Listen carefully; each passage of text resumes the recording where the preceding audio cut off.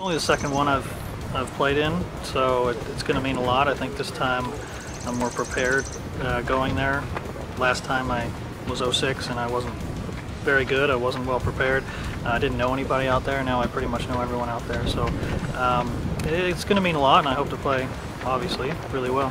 You're playing for uh, the United States Open, being an American, it's it's it's a huge dream. That and the Masters, and um, to me, those are the two biggest tournaments for a professional golfer, and uh, it means the world. It's a dream come true.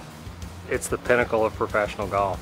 You know, that's the it's the tournament that they write movies about, and you know, when you decide to turn pro, it's it's uh, every guy's dream to compete in our national open, and it, it means a lot. It's a huge honor. Uh, obviously, something I've always dreamed of, and uh, be able to play in it finally after missing out last year, it's uh, it's very relieving, and I'm just looking forward and so excited for it.